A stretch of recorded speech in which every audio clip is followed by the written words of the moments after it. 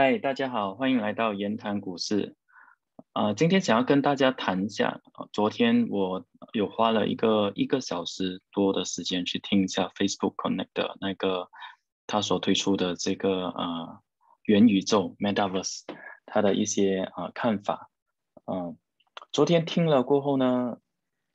我感觉上，呃，这个 Facebook 是对这个元宇宙的投资是很认真的，因为接下来，呃，他他连他的公司的名字，呃，都要改成叫 Meta，就是这个现在你看到的这个新的这个呃 logo，所以以后的呃 Facebook 就不再叫 Facebook，啊，就叫这个就结合变成叫 Meta，啊，所以这个。这一个可以看得出啊，这个马 CEO 呢，对于这个元元宇宙的认真，他以后会投入很多的资金去开发这个啊元元宇宙的这个世界。嗯，对我来说，这个元宇宙，昨天我看了过后，呃，我本身的看法，我觉得对我来说，我比较难去真正的去感受到它对我的生活现在有什么帮助，因为。主要是给我感觉好像多比较多是在于啊玩一些的游戏啊，玩一些的 VR game 啊等等。呃，我觉得他们有两个东西要去解决啊。第一个最重要的就是它的那个硬体，硬体的那个呃设备，它需要做到人家可以很便宜的买到那个硬体啊，或者是很容易可以得到，然后才可以去到那个世界去感受。他的那个世界是这样。第二个就是他现在在做的，就是他要去建立那个元宇宙那个世界里面的东西，呃，可以如何的来影响我们的呃生活。因为主要主要我看出他推出这个主要的目的是因为他有很多次提到 Apple 的那个 privacy 的功能导致他的营业额下降嘛，所以他也知道说 Apple 可能已经是他的一个竞争对手。因为它可以，Apple 可以决定它的这个软件不在 Apple Apps 里面给人家下载，所以对他来讲是一个很巨大的威胁。所以他时常，他在这个元宇宙的看法，他时常说着，他所带出来就是，其实我们上网，我们是不用，不需要再用电话，不需要再用电脑，啊，可能就是戴他的那个眼镜，有 VR 跟 AR 的眼镜，可以去到他那个世界，就不需要再对这个啊电话有所有所依赖。所以这个东西啊，他会这样子做，我相信就是他看到以后，或许 Apple 会继续对他的生意模式造成威胁，他就在这个时候开始要啊跳出整个框框，去寻找一个新的一个一个平台，带人家啊带进去那个世界，去给他上网的时候呢，他又有新的啊广告可以打，他又可以有可以可以开发新的这个啊。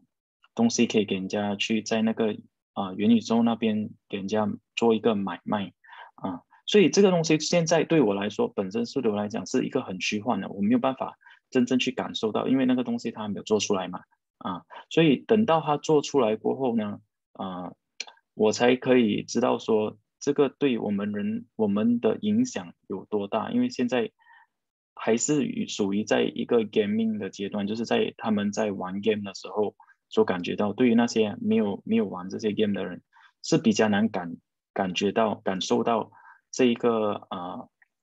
这个元宇宙对他们现在本身生活影响，这个是我个人看法。OK，然后呢，对于长长期投资者，好像我们有买他股票长期的啊，会有什么影响？OK，这个时候我们就要啊看一下看一下他之前的这个财务报表。OK。我们看一下，嗯，他之前会说，就是啊，你看他在这里啊有讲到，就是第四个季度啊，就是他最重要一个季度，因为昨天苹果也发布了业绩嘛，他也会，他也说了啊，这个提到以前 Facebook 有讲到这个 micro economy，就是啊，可能就是造啊这个中国限电等等，会导致短期里面呢这些货来不及出。所以就会影响它的啊这些公司的业绩，Apple 那么大，它都受影响，更更不要想一些中小型企业在美国，他们啊最后一个季度是最重要，因为圣诞节嘛，所以如果他们货都没有的都没有的话，那么它是否可以达到啊很高的这个广告的这个啊营业额呢？这个是一个这个是一个啊短期的看到的一个这个风险，然后呢，分析师也把这个三十四个 B 链，就是他们最最后一个季度啊所要达到的这个目标，定在他们的这个啊一个 expectation 里面，就是下个季度他一定要达到这个。这个三十四个 B 链，然后就因为他投资了这个元宇宙啊，所以你看他的基本上，你看他的这个 expense 就是他的开销，以今年跟明年来比的话哦，啊大幅度增长一个三十个八仙啊，大幅度增长三十八仙，因为他需要请很多的人呢，一方面啊不单单指这个元宇宙啊的建建设，可能他还要。请很多人来做一些啊，他的啊，就是他要拉光纤啊、拉电缆啊等等。因为如果全世界上网很慢的话，根本不用谈这个元宇宙。所以他已经开始有在世界各地开始帮啊很多的国家拉那个地下啊海海底隧道的光纤啊，因为你上网速度一定要快嘛啊，所以他会花很多钱在在这方面，所以他 expand 增加。一个三十多个八千，除此之外，因为你拉了这些光纤是属于你的，你的 capex 也会随着增加嘛，所以它的 capex 哦，它也增加了一个啊五十个八千，所以种种种种啊，对长期的投资者来讲的话呢，呃，是否它可以不可以有一个啊，是否它是不是可以做到有一个五十个 B 链的这个啊现。啊，就是现金流来回购公司的股票啊，这个是一个啊未知数，因为这些的成本的提升呢，我们都看到说它都会用了很多的这些 cost，所以呃，短期里面如果如果中国限电最对它的这个呃营业额有受到影响的话，那么那么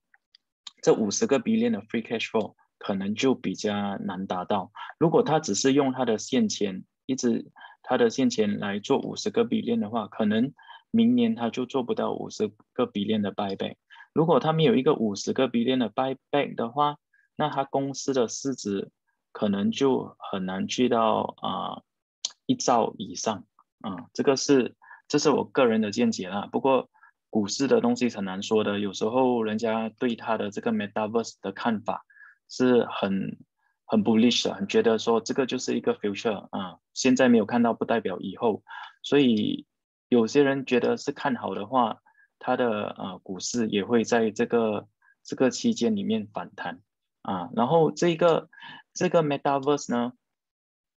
它有两个有两个呃东西啊要去解决，VR 它已经有了嘛，叫 Oculus 嘛，另外一个就是这个就是 AR，这个 AR。然后昨天呢，他有发布一个新的，你看这个是真实的嘛？以前他们玩 Pokemon 啊，这是真实的，然后这是虚拟的，用个电话就可以了。他现在所推出的就是说，你不要用这个电话，我可以给你看到这个虚拟的东西，你戴我的那个眼镜就可以了。所以这个眼镜要他要去研发，这眼镜啊，昨天他就有发布，发布像这样子的这个眼镜，它是啊一个一个。AR 的眼镜可以让人家，它可以检测我们的眼睛，然后可以给我们看到说我们看到的那个虚拟的东西是跟着我们的眼眼珠的那个啊移动来来调整的。所以这个是啊 Facebook 现在也在做的。所以他对这个 Metaverse 的这个投资呢，是从硬体、软体啊，然后拉光纤、拉地下隧道，然后一直到。啊，整个虚拟的世界都是从零做到有的，所以它是第一个啊，可以讲这个嗯，科技公司丢那么多钱在这个在这个 Metaverse 里面，它就是要让人家体验一个全新的体验，就是让人家不要再依赖电话，不要再依赖手机啊，不要再依赖电话，不要再依赖电脑，然后。用一个眼镜就可以去到那个世界，用那个眼镜就可以来打电话，用那个眼眼镜就可以来沟通，然后就是一个完全新的一个上网的那个那个感觉。然后他昨天也是有提到啊，NFT，他有提到很多次 NFT，就是说人家可以在那里有虚拟的资产，就啊，因为现在很多啊人用这个 NFT 的技术去买一些 digital art，就是啊虚拟的一个一个一个艺术品啊，这个 NFT 它这个技术就可以确保全世界只有你一个拥有这个艺术品，所以这昨天这个消息啊一发出，你就可以看这个 Ethereum 它的这个它的这个啊价钱。就直接上了一个十十八线啊，因为他也看到 Facebook 这个大公司啊，开始也要用这个 NFT，所以啊，很多的啊这些炒价就开始把这个虚拟币也炒上来，再炒一个十八线上，所以它是一个啊，对整个的这个啊网际网络啊，跟这个啊啊虚拟币啊啊等这些都。他都已经把它全部结合在这个啊这个元宇宙的这个世界里面，所以对于如果你是一个长期投资者，你你觉得这个东西是行得通的话啊，那么它长期的回酬肯定是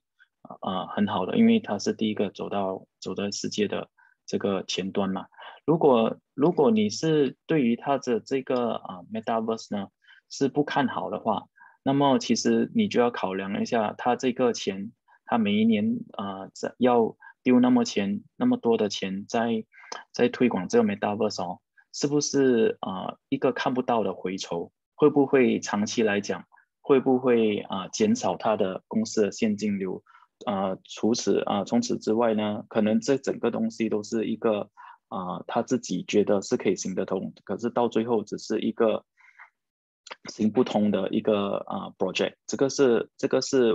作为长期投资者要去考量的这个地方。短期的风险，刚才我已经讲了，就是说啊，短期里面我们看到 Apple 它有说短期有限电的问题会供供应有问题，所以短期可能下个季度它的价钱它的它的营业额不是那么好，可能下个季度业绩报告出了过后，可能它的啊。股价也有啊继续被压的这个一个可能，所以这个是我个人的看法。对于这个 Facebook，好啊，今天我小小的这个分享就到这里，谢谢大家。如果你喜欢我的这个分享跟我的频道的话，欢迎你的啊订阅啊，我也感谢大家的支持。如果有什么意见的话，可以在我的下面的 comment 啊来留言，谢谢。